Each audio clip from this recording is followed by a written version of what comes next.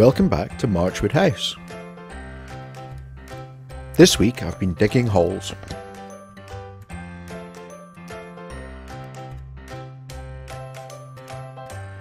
So I needed a total of five holes, three inspection pits for the foundation to allow the engineer to see the soil types, and two for the drainage for the septic tank to see how quickly the water will drain away.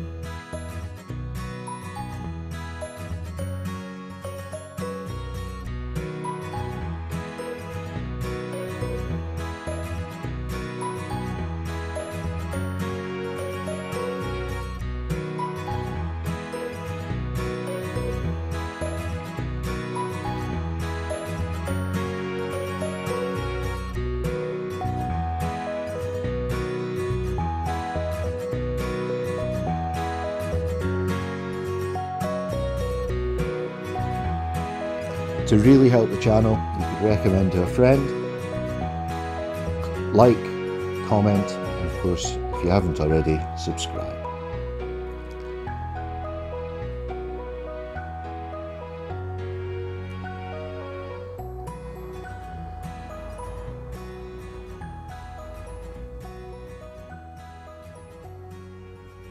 Here's to a wonderful 2021.